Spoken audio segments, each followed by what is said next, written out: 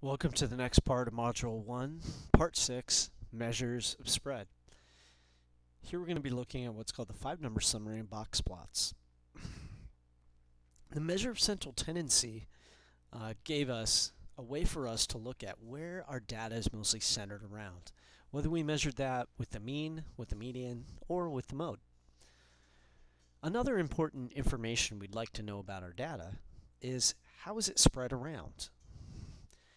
Are the numbers spread way apart from each other, or are they somewhat close to each other?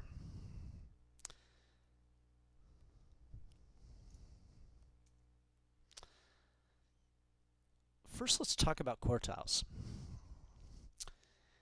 If we divided our data into four equally sized groups, we have created four quartiles. You may have also heard of the term percentile. A lot of time percentile is used as a way to divide up a group, a very large group, into a hundred different subgroups, all equally sized. We call those percentiles. If you, for example, take a standardized test, most standardized tests report your result as a percentile and not per se as a percentage. If you'd score, say, in the 85th percentile on the test, that actually means that you're in the 85th group, uh, meaning 85% of the people scored lower than you and 15% of the people scored higher than you. That's the idea of a percentile. A quartile is somewhat similar, except we're doing it in to, to fewer groups. We put them into four equally sized groups. So we have the first Q1 value, which tells us where the first 25% of the of the data fell. We have the Q2 value, which actually shows us where the lower half and the upper half are divided. Then we have the Q3, which shows us the division, or it's the division between the upper 25% and the lower 75%. So, the Q2 is actually our median. It is the number or the value or the place that separates the bottom half from the upper half. The other two end up being the median of the lower half and the upper half. So literally Q1 is simply the median of this half of numbers. And the Q3, the third quartile value, is the median of the upper half. So in order to find quartiles, we just have to find the median three different times. So the first thing we want to do is actually the second half here. Um, we first want to establish where the second quartile is, or the median is of the half of the set. That means that we're dividing it first in half. Then we find the, the median of the first half of the data, since we've already divided it up by finding the median. Then we find the median of the upper set, and that value is our third quartile. Now, as you know, odd and even make a difference in where the median is located. If we have an odd number of values, then after we have found the median of the first half, we do not use that value, which is actually a value of the set, when we find the median of the first half. And we'll see this in an example. If we have an even number of values, then remember what we do is we find the median, or the, I'm sorry, not the median, but the mean of the two values that are in the middle. That value is not an actual value of the set. It's simply uh, the mean of the two values that are in the middle. So we're not going to ever count that uh, since it's not a value of the set. So you'll notice that we are always excluding whatever value is our median when we're finding it. So we always exclude whatever median we have in calculating the mean for the lower half and the upper half.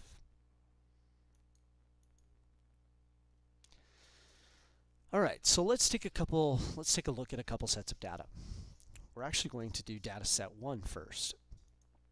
For this data set, we have 10 values 1, 2, 3, 4, 5, 6, 7, 8, 9, 10. That means we have an even set of values. The location of the median is going to be 10 plus 1 divided by 2, which is 5.5.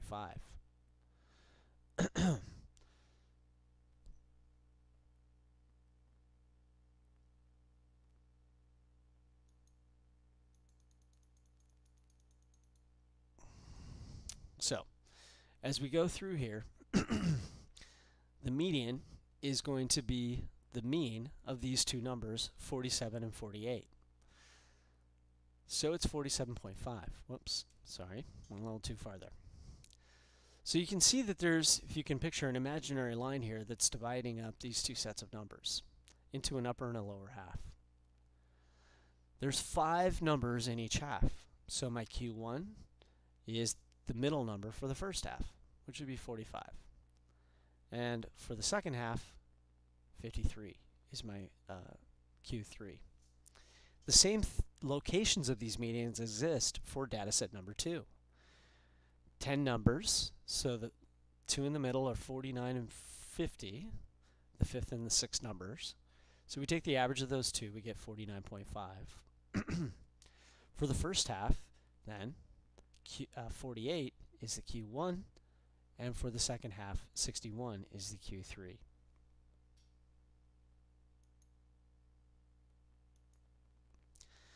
Now, just knowing those numbers is really not very helpful. We really need a picture to be able to display uh, how this data is spread out over the real number line. This is called a box plot. Box plots are a convenient way for us to draw a picture that represents the quartiles and hence where our data is spread across the number line. To do this, we use our quartiles and then we throw in two other numbers. Those two numbers that we throw in are the minimum and the maximum numbers of the data set. To construct a box plot, we can determine the five number summary. Then we draw a horizontal axis. The second part here is actually the most important.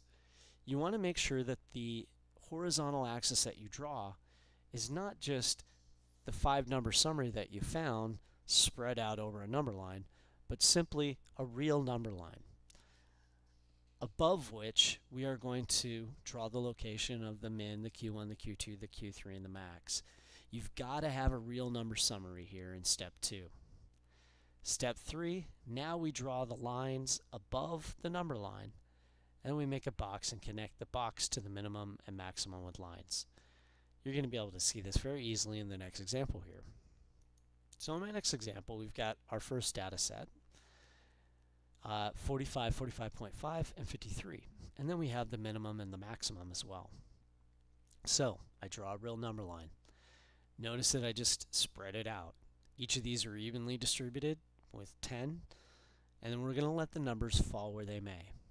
This is the most important part. Without the real number line, your box plot has no real meaning. So we find, excuse me, the minimum, 41, the Q1, 45, the Q2, 47.5, 53, my Q3, and then my maximum, which is 66. I make a box out of the ones that are in the middle. So your box actually represents the Q1, the Q2, and your Q3. The two other lines are representing your min and your max. So we connect those with lines. The box represents the middle 50% of your data, and these two represent both individually 25%. So you can see, for example, here that 75% of my data lies below 53 because that's my Q3. We can also see that 50% lies below 47.5. what we really like to do with box plots a lot of times is to compare two different sets of data. By doing so, we can see how these two sets of data compare to each other. So for my second one, we throw in the minimum and the maximum, and then we do the same thing. We place the locations of the min, the Q1, the Q2, the Q3, and the max. We connect the three in the middle as a box, and then we connect the lines together. so you can see between these two sets of data that the second set of data has a much greater spread than the first. 75% of my data is between 61 and 20, whereas here the 75% uh, of my data was uh, between 45 and 53, much less of a spread. You can almost picture how this data is contained. Keep in mind that each one of these sections of these um, bars are represent a quarter of my data. In other words, there's the same amount of data between here and here as there is between these two. Meaning that these are really squeezed in together and these are really spread out.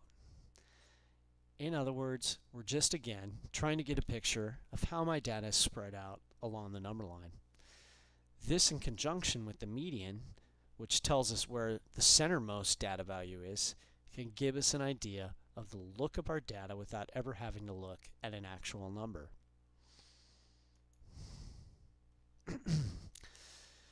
now another way for us to measure spread is to talk about the interquartile range. the interquartile range uh, tells us where the middlemost, uh, sorry, the middlemost 50% of my data is located between. Because a lot of data sets always contain um, extreme values, the largest and smallest don't always give us a good description of the spread of the data because by nature, being the largest and the smallest, they would always be the most extreme values of the data set. It's possible that these values are outliers, and so we can't be too sure how representative they are of the overall set of data. The distance between the quartiles is a more resistant spread. That's because we're not picking the two most extreme values. So the distance between Q1 and Q3 is called my interquartile range, or IQR. In this case, well, in any case, we take Q3 and we subtract Q1. That gives us a number. So in our previous example for data set number 1, we would take 53 and subtract 45 from it, which would be 8. If we were to take a range of the entire set of numbers, it was 25. In other words, half of the data is in a range of 8 units, where the entire data set is within a range of 25 units.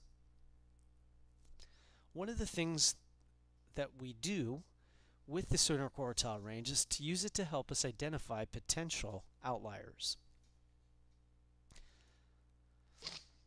An outlier could be a piece of data that doesn't really belong in our set of data, either because there was an error made when it was being collected, or just because it's so atypical it needlessly skews the overall picture of the data. I gave the example of zero on an exam because of an absence that would have a big effect on my overall picture. Sometimes, if that's the case, that zero score may I may want to leave that out because I consider it not really a part of what I'm trying to look at. I don't if someone did not take an exam, that zero should not be counted in the average because my goal is to figure out a picture of how people did who actually took the exam. Maybe also we were doing a study of commute times, and one of the commuter experienced a flat tire or was in an accident. That would probably give us a uh, very long commute time, which wouldn't belong in our overall data set. Or maybe a real estate study of overall home prices in a given area include the prices of home that recently burned to the ground. Do we really want to include those in the price values of homes in a given area? These are all examples of numbers that could end up within a data set, but that really we might want to leave out. So, what we're going to do is we're going to tag certain numbers as possible outliers. Just because a number is large or small doesn't mean that it needs to be excluded.